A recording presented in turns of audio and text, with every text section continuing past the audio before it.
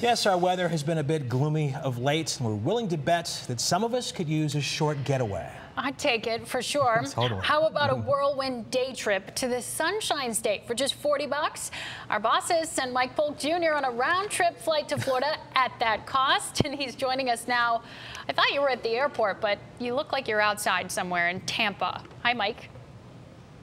Uh, hi, guys. Yeah, I actually am at the Tampa airport where I landed just a few hours ago before I enjoyed a day in the sun here in Tampa, and now I'm on my way back. And isn't that the worst part about every vacation? It seems like as soon as you unpack, it's time to turn around and come home.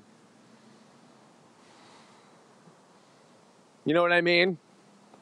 I think you understand. But it, it truly has been a whirlwind day. I've gotten to experience a lot of the Tampa Bay scene. I went to the beach. I enjoyed some fine cuisine, and I did it all for just I yeah, and video. I enjoyed it all for just uh, $40, $20 there and $20 back. The secret is not taking advantage of any perks. That's how they get you. They try and upsell you by allowing you to pick a comfortable seat, not having a middle seat. Um, they let you, uh, I, you pick the worst seat and they, uh, it's free. So that's nice. Um, I don't get any water or you don't buy any extra perks. And if you actually do it that way, then you can actually get a flight to and from Florida for $40 in a day. We did it. We proved it can work, and it was a nice little day in the sun for us. And you can do it, Cleveland.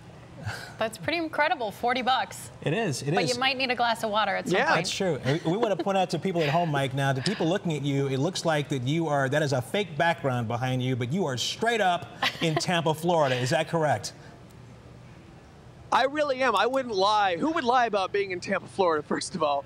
And secondly, just so you know, you missed a heck of a Tampa, Florida sunset, which sounds like an Eagles album, but it is not, right behind me moments ago. And I want you to know I got you guys postcards that I'm mailing from the airport wow. before I leave, okay? Wow. Proof. Right you there. earned them, you guys. I can't wait to see you guys later on. Travel safe. see you, Mike. Thanks. Will do, you guys.